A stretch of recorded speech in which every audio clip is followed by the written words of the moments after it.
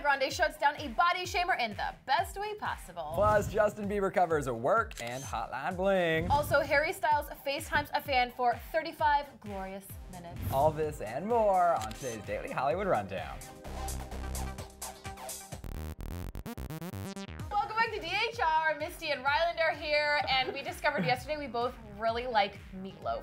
Uh, yes, that is true. And everybody else was talking crap about the meatloaf. But We I was like like, meatloaf. I like that. But later on in the show, we're talking about Justin Bieber. But first, we got some Iggy news. Iggy.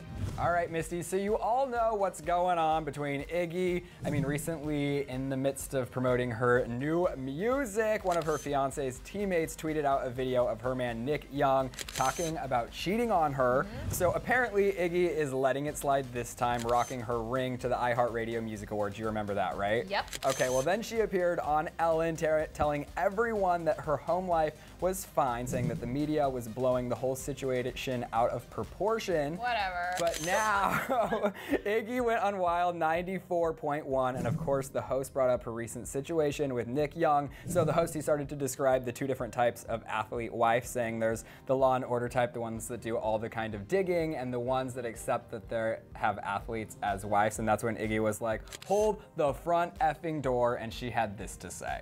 No, I'm not cool with it. Like you will have half a penis. Oh, oh, oh. okay. Now we're not cutting off stuff. Now. I mean, I already I'm- said I was like one more video, just one more thing, Yeah. and you will lose a quarter of your meat. There's the Iggy we know and love. I feel like she's back in a way, right? backing away, but she's still kind of standing by her man for now. But the radio host was like, You don't even know if this was true. And she was like, That's true. And until I have some cold, hard evidence, mm-hmm. he can live and have his penis intact. Okay, great. Uh, mm, yeah, I guess innocent until proven guilty is how she's treating it. Uh-huh. Would you have done the same?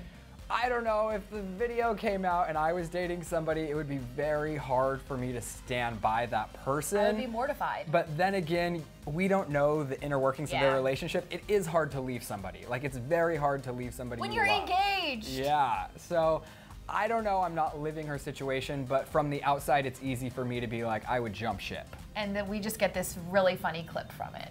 Mm-hmm. Last night, somewhere in Texas, in a hotel lobby, Justin Bieber took a break from his Purpose tour and sat down at a piano to cover Rihanna's work and Drake's Hotline Bling. But it's not what you think. First of all, here is Rihanna's work.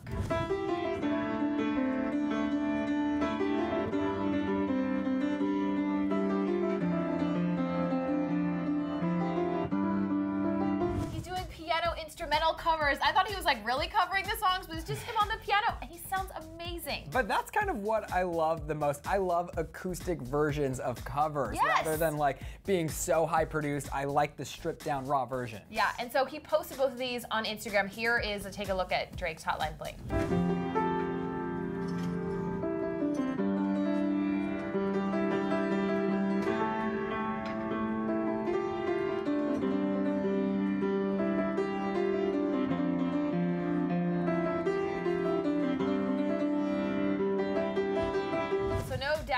Talented. I have a few more thoughts on the whole situation based on looking at the videos. Tell me about it. That's a really nice hotel. okay. Where are the fans?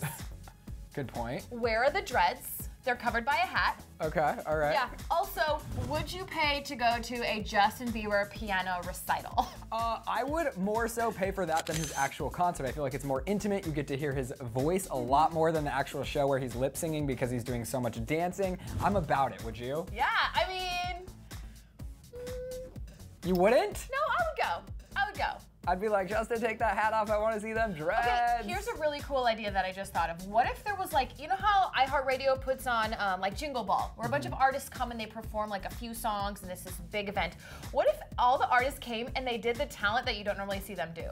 Like someone's just playing guitar, someone's just playing the piano. Like I would go see that. What do you think Justin's talent would be? Well, piano or Okay. guitar. He does a lot. So that's what he's essentially doing, and you said you wouldn't pay for a ticket. No, but I would pay not just to see him, but I'm saying I would pay to go see a lot of artists do that. Okay, I agree. Together. I think that would be cool, and I hope they're listening.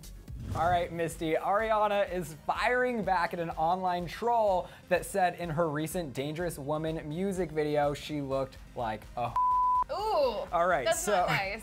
So Ari took to Facebook to reply to the derogatory message. The user had this to say about Ariana, writing, quote, Ariana, all respect but dangerous woman I loved, but the trouble is that in the video, salts, not really sure what that is, like a Sorry for the rudeness, I only just said the truth. Sorry. And so that is when Ariana fired back by saying, When will people stop being offended by women showing skin slash expressing sexuality? Men take their shirts off, express their sexuality on stage, in videos, on Instagram, anywhere they want to, all the time. And then she kept saying the double standard is so boring and exhausting.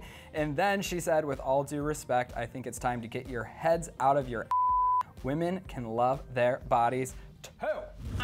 I have a couple things to say about Okay. this. I love the head out of the ass thing. Just she really went for it there. It Just really sealed the comment. and secondly, this whole double standard thing is real, Mm-hmm. and I, I have to agree with it. I do too, and she's no stranger to doing this. She does this all the time. Last year, she even said she can't wait to live in a world where people are not valued by who they're dating, who they're married to, attached to, having sex with, and seen as an individual I rather remember. than their things. So I love that she uses her platform to speak out on issues that are trending because it is so true. Like guys sexual over sexualize their music videos all the time and people are just like, "Oh, that's sexy. That's fun. That's cool." He's being she a does it and Yeah. she gets called a slut or a Yeah. so like whatever you think about this Ariana Grande music video, like she's living her best life. She's doing what she wants to do. Go you, boo.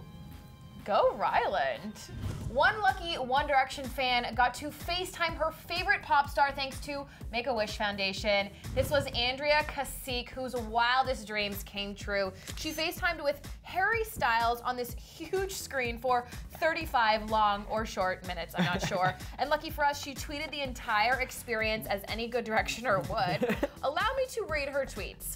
Thank you so much, Harry. I love so much. You are my whole world at Harry Styles at Make a Wish. Thank you for everything. In another one, she said, he knew where I was from, hashtag Venezuela, and he knew my name. I cry like 10 minutes. It was awesome. He's my favorite. His favorite tattoo is Annie's A because it's small. She revealed more about Harry.